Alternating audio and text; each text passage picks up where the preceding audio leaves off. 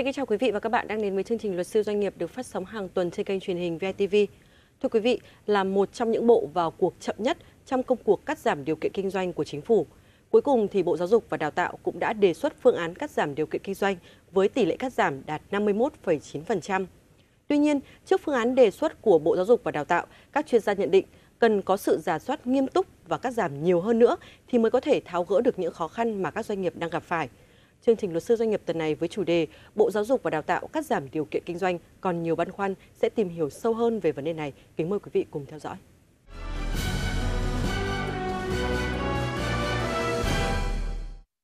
Thưa quý vị, chủ trương cắt giảm điều kiện kinh doanh của Bộ Giáo dục và Đào tạo được thực hiện dựa trên tiêu chí bỏ những thủ tục không cần thiết, tạo điều kiện cho nhà đầu tư và tạo hành lang thông thoáng cho các cơ sở giáo dục phát triển. Đến thời điểm này, khi Bộ Giáo dục và Đào tạo đề xuất phương án cắt giảm điều kiện kinh doanh thì cũng đã bị coi là chậm hơn rất nhiều so với các bộ khác. Tuy nhiên ở một khía cạnh nào đó thì đây cũng đã được coi là nỗ lực đáng ghi nhận của Bộ để có thể bắt nhịp vào công cuộc cắt giảm điều kiện kinh doanh mà chính phủ đề ra.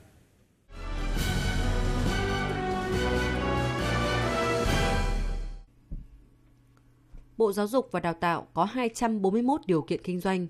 Sau khi giả soát, lên phương án cắt giảm, đơn giản hóa các điều kiện kinh doanh trong lĩnh vực giáo dục và đào tạo, thực hiện luật đầu tư năm 2014, thì trong năm 2017 đã chủ động cắt giảm 29 điều kiện, đơn giản hóa 22 điều kiện. Vậy là còn tổng số 212 điều kiện kinh doanh.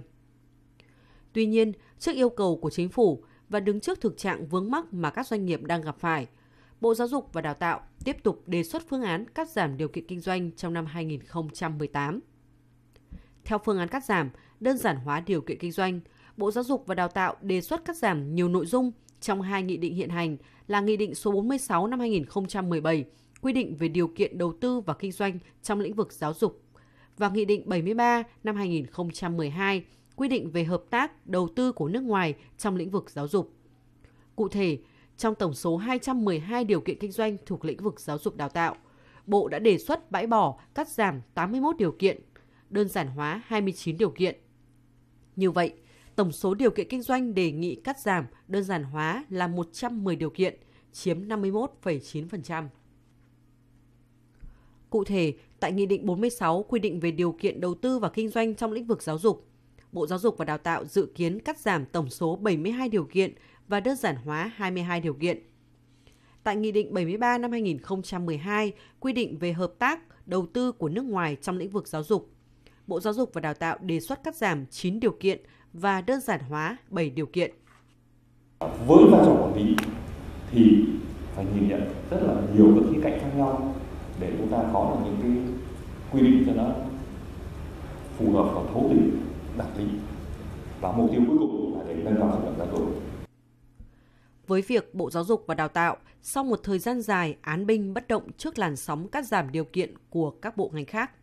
nay đưa ra phương án đề xuất cắt giảm,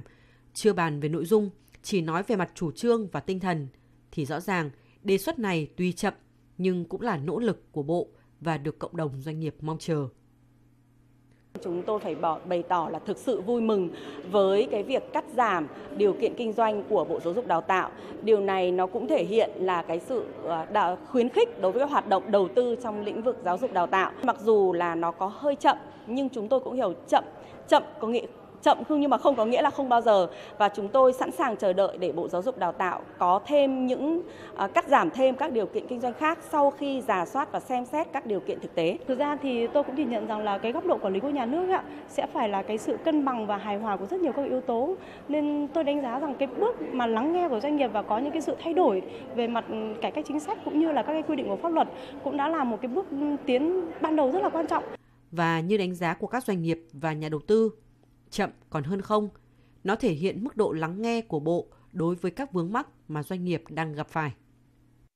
Với đề xuất cắt giảm 110 điều kiện kinh doanh đạt tỷ lệ 51,9% của Bộ Giáo dục và Đào tạo, các chuyên gia nhận định cần có sự ra soát nghiêm túc và cắt giảm nhiều hơn nữa thì mới có thể tháo gỡ được những khó khăn mà các doanh nghiệp đang gặp phải. Và thậm chí, các chuyên gia còn khẳng định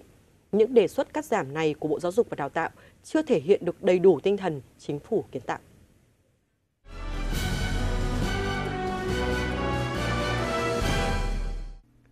Hầu hết các điều kiện kinh doanh trong lĩnh vực giáo dục và đào tạo được quy định trong hai nghị định là Nghị định 46 năm 2017 quy định về điều kiện đầu tư và kinh doanh trong lĩnh vực giáo dục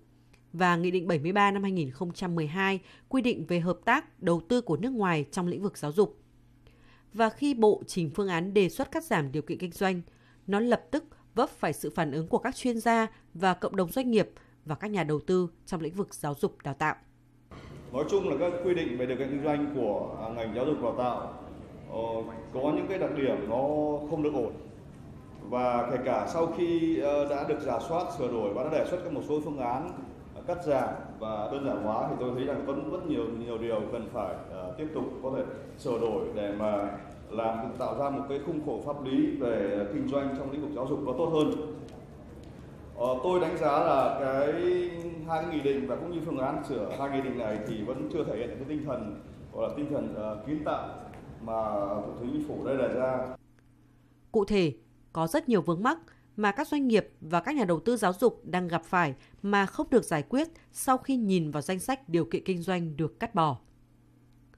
Những điều kiện kinh doanh gây bất bình đẳng giữa các cơ sở giáo dục trong nước và cơ sở giáo dục nước ngoài.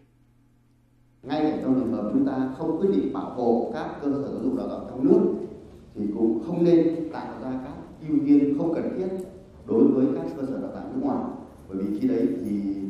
sẽ rất khó cho các cơ sở giáo dục đào tạo trong nước phát triển. À, tôi nói ví dụ là để thành lập một trường đại học thì yêu cầu các trường đại học trong nước sẽ phải có 5 hectare đất trở lên và không yêu cầu đối với đại học nước ngoài phải có 5 hecta đất. Để hoạt động một trường đại học trong nước, yêu cầu hiện nay là vốn của một cơ sở giáo dục đại học nội phải có vốn từ 100 hoặc 1 nghìn tỷ trở lên. Và với cái nghị định 73 hiện nay chưa thay đổi thì chỉ yêu cầu là không ít hơn 350 tỷ, tức là ưu tiên cho người nước ngoài. Tất nhiên tôi hiểu rằng là trong cái sửa đổi sắp tới thì sẽ nâng cái con số 350 tỷ đối với cơ sở giáo dục đại học nước ngoài bằng Việt Nam. Nhưng mà hiện tại đối với những quy định hiện hành thì để thành lập cơ sở giáo dục nước ngoài cần 350 tỷ mà Việt Nam đang yêu cầu các trường quốc nội và phải 1.000 tỷ để hoạt động một cơ sở giáo dục đại học thì đối với các trường trong nước yêu cầu phải xây dựng được cơ sở vật chất. Nhưng mà lại cho phép đối với cơ sở giáo dục nước ngoài chỉ cần đi thuê là có thể đăng ký hoạt động được. À, thế còn những văn bản dưới luật thì hiện tại thì um, điều lệ đại học cho phép các cơ sở giáo dục đại học có yếu tố nước ngoài được phép tự chủ trong vấn đề tổ chức nhân sự. Ví dụ như chẳng hạn là tự xác định cái yêu cầu chất lượng đối với hiệu trưởng nhưng mà đối với hiệu trưởng của đại học Việt Nam thì yêu cầu phải theo bằng lái pháp lý tức là phải có trình độ tiến sĩ trở lên phải có 5 năm kinh nghiệm trong giáo dục đại học phải có phẩm chất đạo đức chính trị à, vân vân rồi lại có cả những điều kiện là những thủ tục hành chính dườm già, mất thời gian và chi phí cho doanh nghiệp. À, các thủ tục thì chúng tôi nghĩ càng ngày nó càng nhiều. Nếu cách đây hơn 10 năm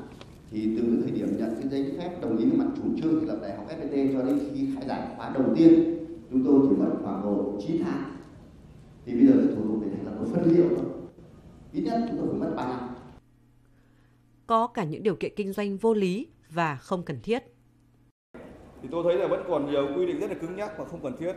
Ờ, ví dụ như là cái cơ, cơ sở mầm non hoặc cái nhóm trẻ độc lập thì cũng phải yêu cầu là phải có có ờ, đồ dùng cá nhân cho trẻ. Thì ờ, thế có phải là trường bắt buộc hoặc là nhóm già trẻ cũng bắt buộc phải làm cái đó không? Hay là phụ huynh gia đình họ lo cho họ các em bạn rồi rồi phải ờ, có uh, quà? Ở thì có những nơi mà vùng sâu vùng xa người ta tổ chức một cách đơn đơn, đơn giản tiết kiệm chi phí không nhất thiết phải dùng quạt. Mà đời ví dụ trong những vùng núi vùng sâu vùng xa họ không có điện hoặc là họ không có nhu cầu người ta trẻ em mới chịu được nóng không cần quạt thì chúng ta có phải bắt bắt buộc phải quạt hay không? Rất nhiều điều nó rất là, là cứng nhắc không cần thiết như vậy. Mọi uh, cơ sở và trường và phụ huynh gia đình họ tự sắp xếp với nhau chúng ta có nhà nước có cần phải can thiệp hay không? Nhiều nội dung rất là không uh, rõ ràng. Ví dụ như là ở trong cái thủ tục là phải có một, nộp cái gọi là văn bản thẩm định của cơ quan liên quan.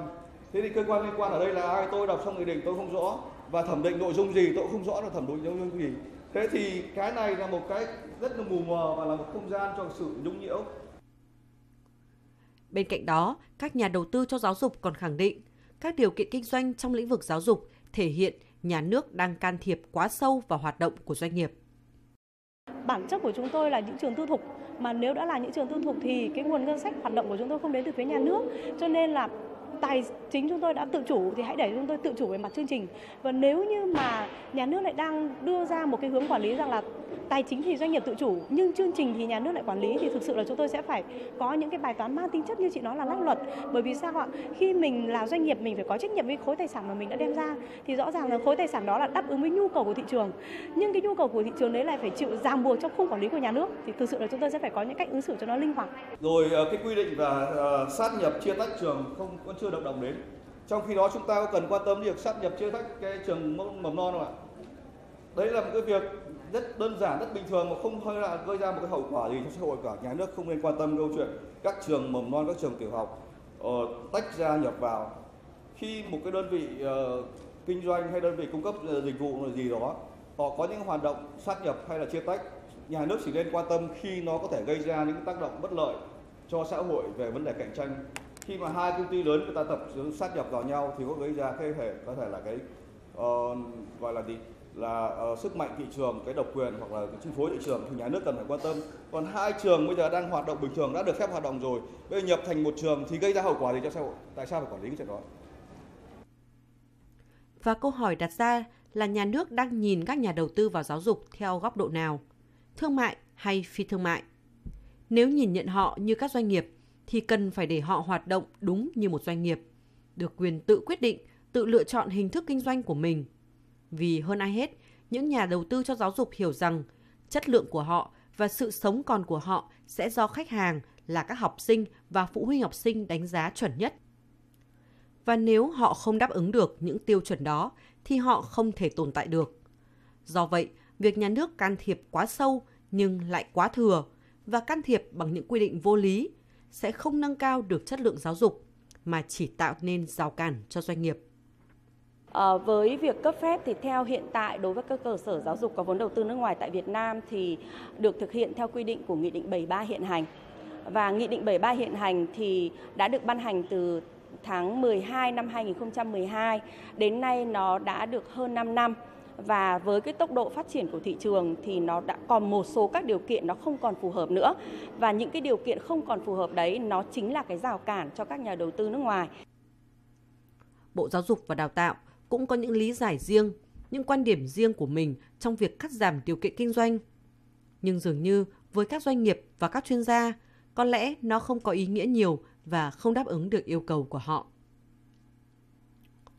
Bản thân các doanh nghiệp cũng hiểu rằng không thể tồn tại được một xã hội hay một nền kinh tế mà các điều kiện kinh doanh hay các quy định của pháp luật đáp ứng và thỏa mãn yêu cầu của tất cả mọi thành phần khác nhau. Nhưng điều cốt lõi mà các doanh nghiệp mong mỏi là một sự cầu thị, một sự lắng nghe và một sự sửa đổi hợp lý, đúng bản chất vấn đề, chứ không phải là những đề xuất có cũng như không. Trong quá trình thực hiện thực tế thì chúng tôi cũng gặp thêm một số những cái điều kiện nó đến từ cách hiểu và áp dụng luật nên chúng tôi cũng mong muốn là khi ban hành ra ban hành cái việc cắt giảm các điều kiện đầu tư kinh doanh thì Bộ Giáo dục Đào tạo cũng có những cái giám sát việc áp dụng cái việc cắt giảm này đến đâu. Chính cái việc giám sát cái việc áp dụng cắt giảm này chính là tạo điều kiện cho các nhà đầu tư. Trong cái luật giả soát này thì tôi thấy là mặc dù nó đáp ứng được cái uh, con số 50% so chính phủ quy định nhưng mà thực ra chúng ta có thể làm hơn nhiều hơn rất nhiều chúng ta có thể uh, tranh thủ đợt này cùng làm một đợt sửa cái hai cái nghị định này chúng ta có thể cố lên và sửa ờ, nhiều hơn nữa để tạo ra một cái khung khổ pháp lý nó thuận lợi hơn rất nhiều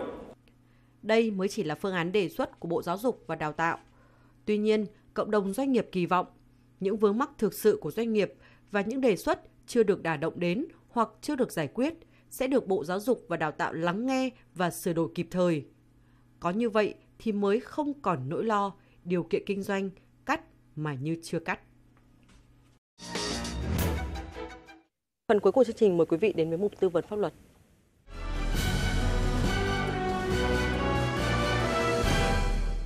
Tham gia mục tư vấn pháp luật ngày hôm nay có luật sư Lê Thị Thu Hằng, công ty Luật Quốc Minh, đoàn luật sư thành phố Hà Nội. Thưa luật sư, một khán giả có địa chỉ mail loan trần a gmail.com viết thư về chương trình và hỏi công ty trách nhiệm hữu hạn một thành viên ở đây gọi tắt là công ty A À, là công ty hạch toán độc lập và chủ sở hữu là công ty B. Vậy thì công ty A có thẩm quyền quyết định việc vay vốn của chính mình hay không? Mong chuyên mục tư vấn giúp và xin chân thành cảm ơn. Một luật sư trả lời ạ. À, theo quy định tại khoản 1 điều 76 Luật Doanh nghiệp năm 2014, chủ sở hữu công ty là tổ chức thì có các quyền sau đây. Quyết định các nội dung về điều lệ công ty, sửa đổi bổ sung điều lệ công ty, quyết định chiến lược phát triển và kế hoạch kinh doanh hàng năm của công ty, quyết định cơ cấu tổ chức quản lý, bổ nhiệm miễn nhiệm bãi nhiệm người quản lý trong công ty, quyết định dự án đầu tư phát triển, quyết định các giải pháp phát triển thị trường, tiếp thị và công nghệ.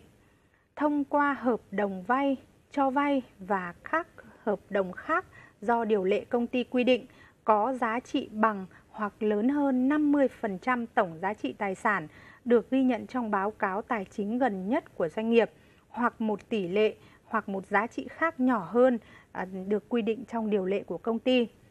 Có quyền quyết định bán tài sản có giá trị bằng hoặc lớn hơn 50% tổng giá trị tài sản được ghi trong báo cáo tài chính gần nhất của doanh nghiệp.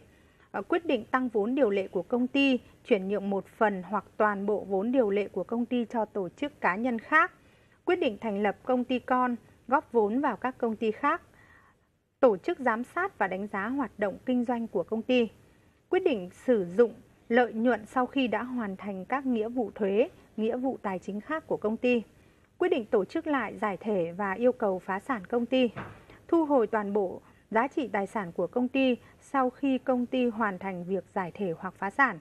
và các quyền khác theo quy định của luật doanh nghiệp và điều lệ của công ty.